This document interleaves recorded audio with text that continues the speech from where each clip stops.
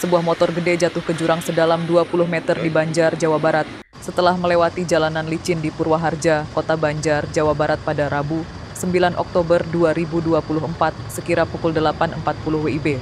Motor gede yang jatuh ke jurang ini mengalami kerusakan parah, di antaranya ban depan moge yang patah. Kecelakaan tunggal ini diduga terjadi karena pengendara moge tidak menguasai medan saat melintasi jalanan licin setelah hujan, hingga motor menabrak tiang pembatas dan kemudian terjun ke jurang. Polisi dibantu BPBD Kota Banjar kemudian mengevakuasi motor gede dari jurang sedalam 20 meter.